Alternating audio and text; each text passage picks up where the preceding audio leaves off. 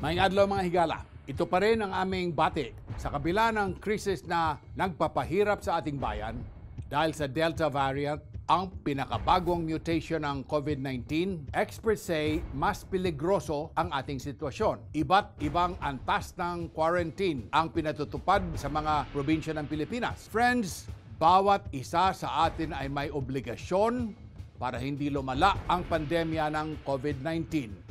Isipin natin kung paano tayo magkakatulungan.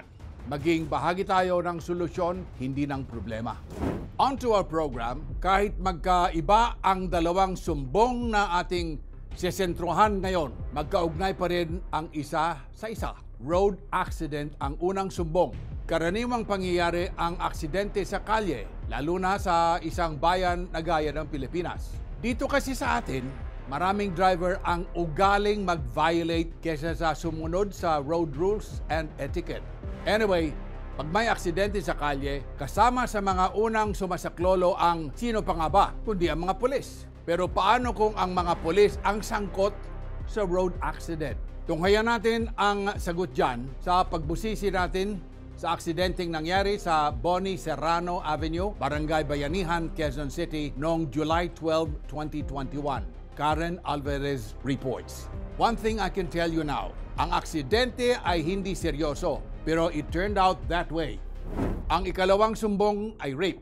Again, ugly as it sounds, ang rape ay para bang karaniwang pangyayari na rin sa atin. I mean, are you shocked pag nakabasa kayo ng rape sa dyaryo? Probably not. Pag nalaman ninyo ang sordid details ng krimen o kung ang involved ay personalities, baka pa.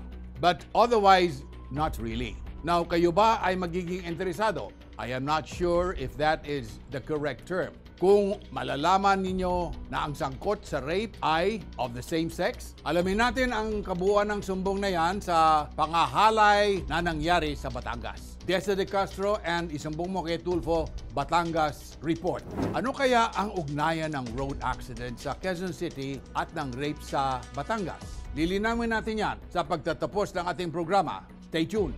Malalang krisis man ang ating kinakaharap, magkakasama pa rin tayo dito sa Isumbong mo kay Tulfo.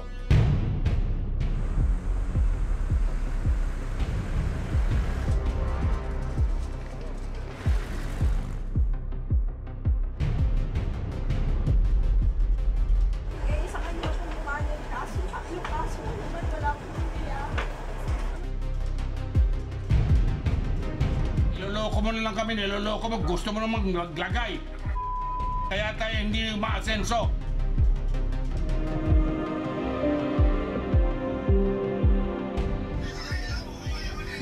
Ayan. Ano, matitingnan mo pa? Ano bang na na-apply ninyo OFW sa Korea?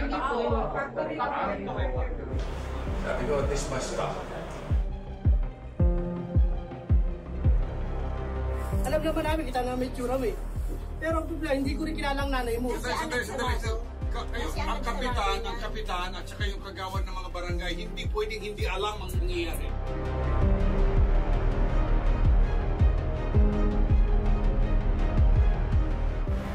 Kinapi ka ba? Isumbong mo kay Tulfo.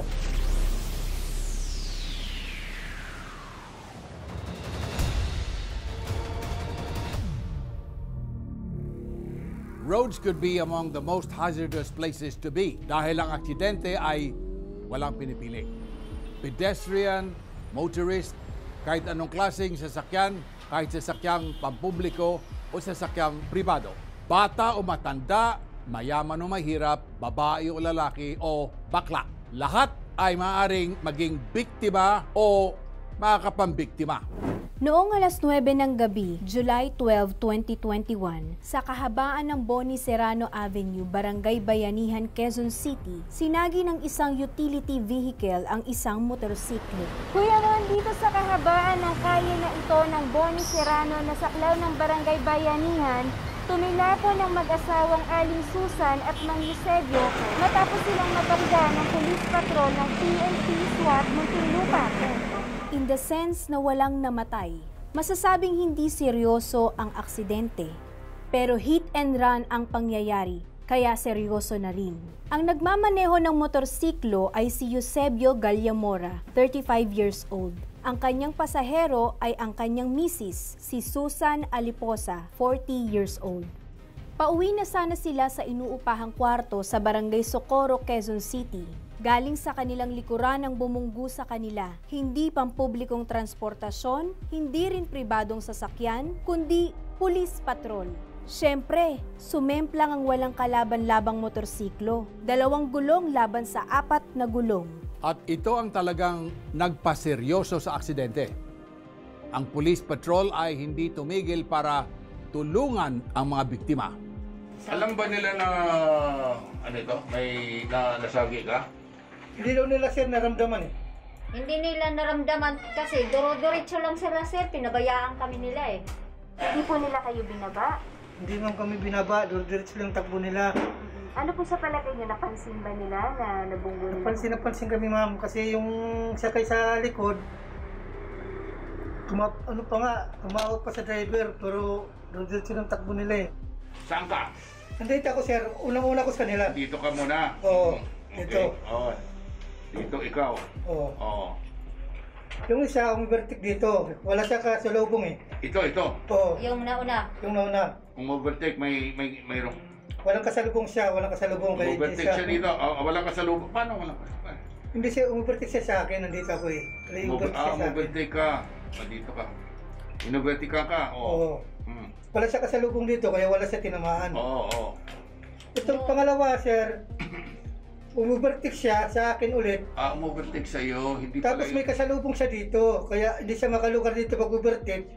Kaya sa akin siya, nap- ano, O kasi dito ka, no? Di ba? kami tinamaan. kami natamaan. Okay, may darating, may dumarating. Tuloy-tuloy lang yung takbo nila. Mabilis pa sir, mabilis. Bilis. Takbo nila. Mabilis na dumating sa eksena ang kapitan ng barangay Bayanihan. Tapos si Kapitan naman, lumapit din sa amin, Sino kapitan? dahil sa bayanihan, Kapitan ng barangay. barangay po. Umain kami ng tulong Siya? sa barangay. Tapos may lumapit na pulis na naka-mobile. Tapos sinala kami sa karingan. Tapos... Sa Karingag? Hindi sa ospital? Ang Traffic Enforcement Unit, Sector 4 ng Quezon City Police District ang humawak sa kaso. The day after the accident, saka pa lang nakapagpa-check up ang mag-asawa. On their own, nagpunta sila sa Quirino Memorial Medical Center. Ito yung findings ng doktor. Fracture daw ma'am eh. Ano pa? Fracture. Fracture. Fracture. Oo, nagkaroon daw ng fracture. Ma'am. Oo. Si nanay, ano po yung mga ah, naging... Da- Ano yung- lang naman po- sa akin ma'am, mga galos lang at saka yung mga pasa. Pasa po saan? Dito sa ano, wala na po ma'am kasi ano na eh, Mhm. ilang 11 days na, ma'am. na ngayon. 11 days na. Mhm. Okay. Yun lang naman naging ano sa akin. Mhm. Pero yung sa inyo po talaga na Ito siya, balian kayo. Kung yung nagrabihan ma'am. Ang second hand ng motor na kabibili lamang ng mag-asawa ay nasira. Dito po sila, dito po tinamaan yung ano. Manubela po, sir. Tapos sabihin ko na dito, sir. May kaskas po dito ma'am, sir. Dito. Asan ang gasgas? Ito. Wala kasi ang ikot yan. Pero magagamit niyo pa naman po. Baka yung po yan, pero iba na yung ano ng unahan niya ma'am. Takbo, iba na yung takbo. Mabingin na. Patingi, patingi na. Paano nga hanap buhay ninyo ngayon? Wala na nga, Sir, wala na. 11 days na, sir. Nag-test lang kami doon sa garden house namin. Pera kayo ngayon? Wala, sir. Ano lang, naglakad lang kami hanggang doon sa ano, sa Sikuro. Siguro. Binaibenta lang namin dito eh. Mayroon ba tayong kwan dyan na yung food pack? Meron, sir. Ha? Meron. O, bigyan, bigyan mo. Sa mga gaya ni Naaling Susan at Mang Eusebio, kita natin ang pagiging likas na masayahin ng mga Pinoy. Iiyak dahil may pinagdadaanan, pero nagagawa pa ring tumawa. Nung kwan na nasagi kayo, ba, tumalsi kayo? Talsik talaga kami, sir. Tumirik pa yung motor namin, sir. O, yung sir. ko dito. Nabalik ka rin. Nabalik Wala. ka Kaskas Ka, lang. mga ano Kaskas naman lang. eh. Oh, Oo. Tapos dito, marami yan dito. Tapos sir, marami mga ano to sir sa katawan. Tapos mga Ano, pigsa ko. Na ano na Pigsa, kasi. pig- Pigsa, pasa, Ah, pasa. mga pasa. Ay, sorry. Mga pasa. Ang dami Kasi- kong pasa, sir. Dito sa katawan ko eh. Kasi sir, kasama kami sir. Hindi, Okay, sir. alam ko. Nagawaray kami. Pareho lang naman tayo Bisaya eh. Kaya, pigsa, pasa, pasa. Oh, oh, oh, oh. Dapat alam mo lahat ng mga Tagalog. Ah, Natawa na. okay, sige. Saan ang ah, pigsa mo? Pigsa. Yan, may, meron Wala na sir, na, Wala na. Parang ano na eh, nawal. Oo, okay, Ito po. okay, okay na. dito. But we are not laughing. At lalong dapat hindi tumawa o baliwalain ng Muntinlupa PNP ang kasong ito. Hoy mga abusado! Kayo, road etiquette demands na ang naka-aksidente ay tubigil para sikasuhin ang aksidente. Kaya serious o hindi ang injury. Lalo na kung pulis ang nakabangga. Sa pinagsamang investigasyon ng Traffic Sector 3 at Sector 4 ng QCPD, ang dalawang patrol cars na may body number 121 at 117 ay naka-assign sa SWAT unit ng Muntinlupa PNP. Kung sila nakasulatan, para pala pa-alarm sa ano sa munting lupa na yung mga doon nakasagi sila dito ng tao sa Quezon City. Okay. Tapos pag ilang araw, dumating din yung nakasagi sa amin. Nagharap-harap kami doon. Yung driver pala, hindi sa akin nagpag-usap, hindi man sa akin humingi ng sorry. Nung nakausap ko lang doon yung kababayan ko, sabi sa akin, magkano daw hiningi ko na pera. Sabi ko naman, pag-abot lang sana ako.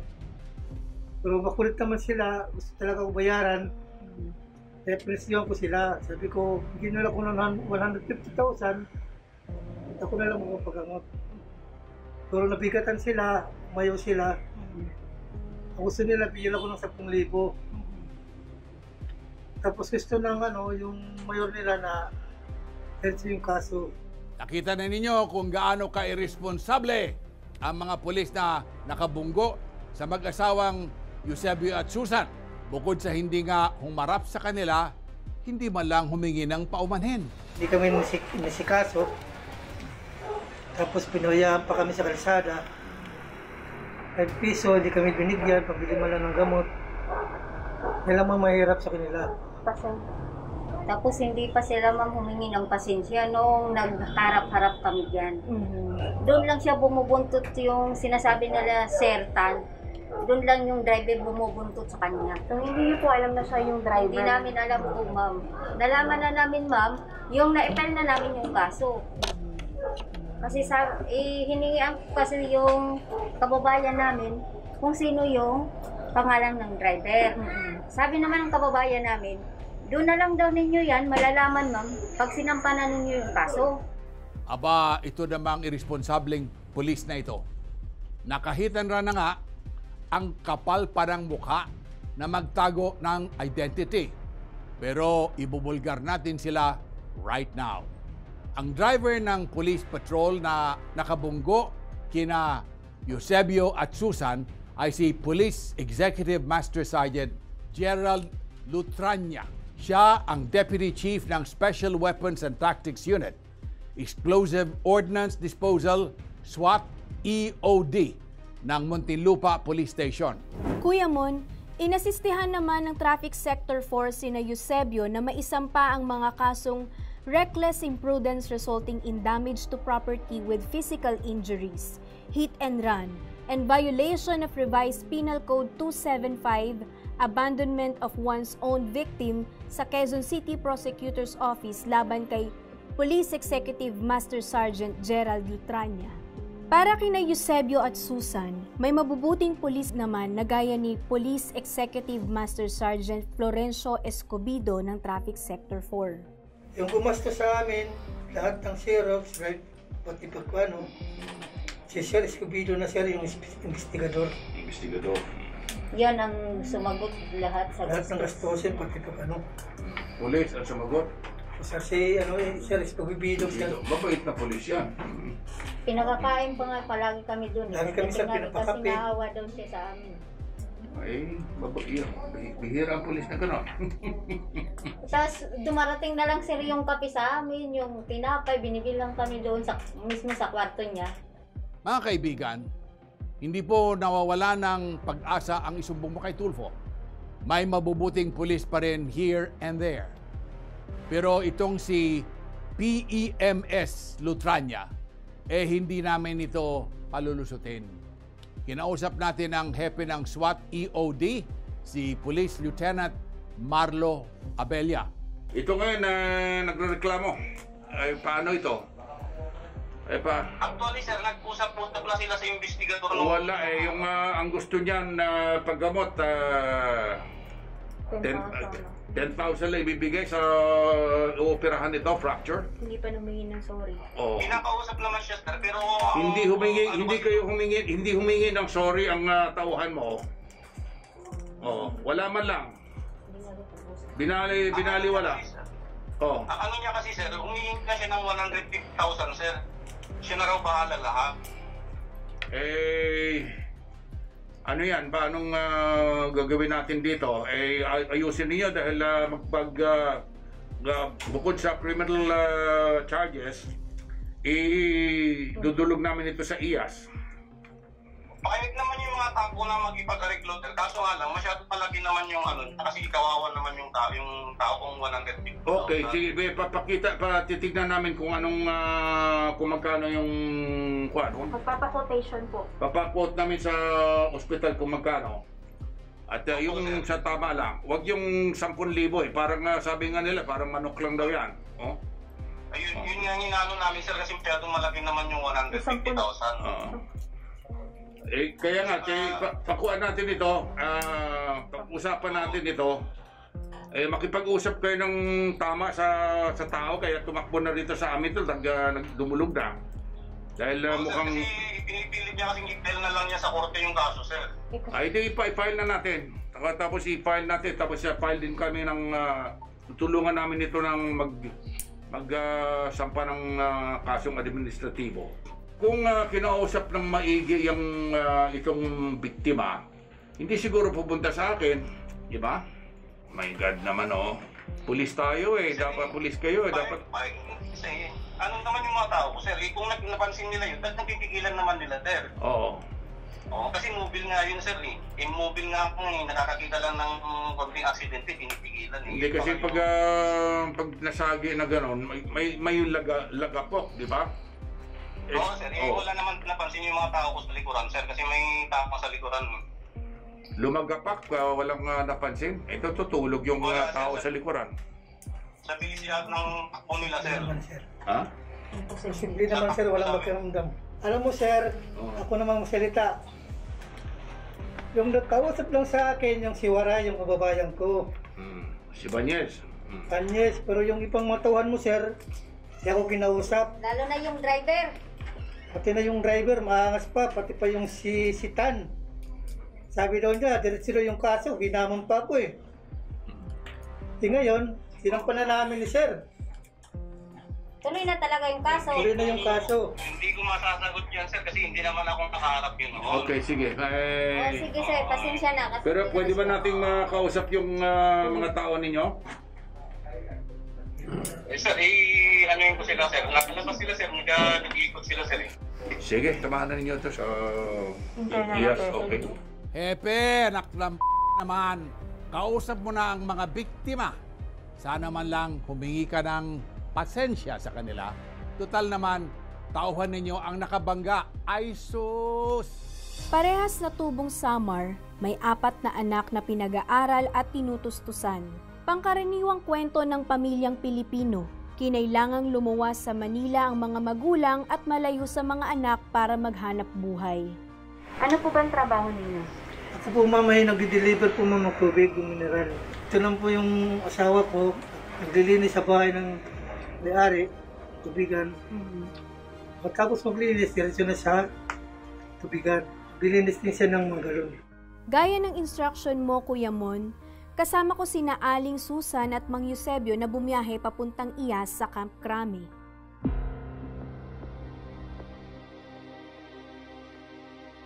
Ang Internal Affairs Service ng Philippine National Police ang puntahan ng mga gaya ni Mang Eusebio na nais magsampa ng kasong administratibo laban sa mga pulis.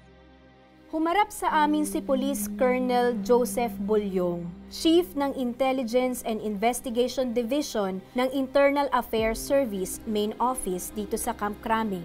Ipinatawag din niya ang dalawang investigator na sina Police Master Sergeant Ricardo Palmares Jr. at Police Senior Master Alberto Carasig Jr., team leader ng mga investigators doon.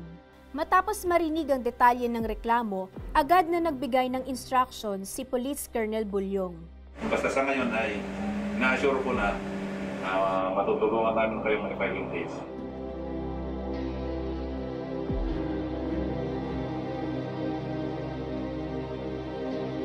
Matapos ang konfrontasyon, sinadya ng isumbong kay Tulfo sina Eusebio at Susan sa kanilang inupaahang kwarto.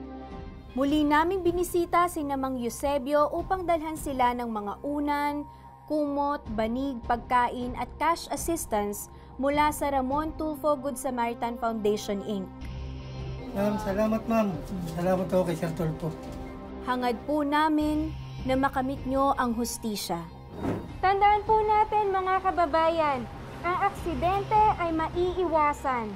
Kailangan lamang po natin magdoble o tripleng ingat upang hindi makapinsala, makapanakit at makaabala. Sa ngalan po ni Ramon Tulfo, ako po si Karen Alvarez para sa isumbong mo kay Tulfo. Bakit kaya napakahirap, lalo na sa mga taong nasa kapangyarihan, ang mag-sorry kung nagkakamali? Masyado bang valuable ang kanilang pride? Mababawasan ba ang kanilang pagkatao? Nagtatanong lamang po. Magbabalik kami matapos ang ilang patalastas.